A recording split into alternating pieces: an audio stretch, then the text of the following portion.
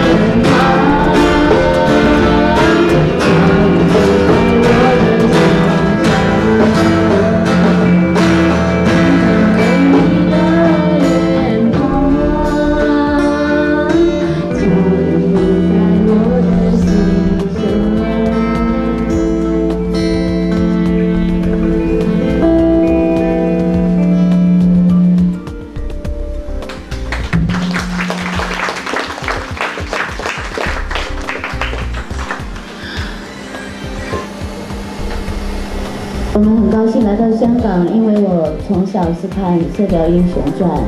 看呃香港的警匪片，看周星驰，然后后来又看麦兜的故事，所以其实我们一直挺喜欢香港的。最后一首歌《四月》，